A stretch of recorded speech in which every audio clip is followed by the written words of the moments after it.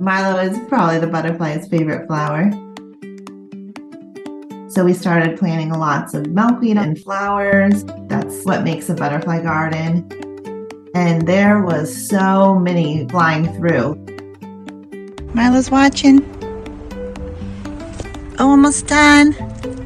When they fly, he tries to be still and sometimes he'll close his eyes. I can just tell him, this is a butterfly. You have to be gentle. And he knows how special they are. It's so funny when the butterflies sit on his nose. He tries to like look at them and looks a little cross-eyed. I'm a florist, so we take the flowers from our garden and we make butterfly crowns. And Milo loves wearing his crowns. It's just like so beautiful and so unreal.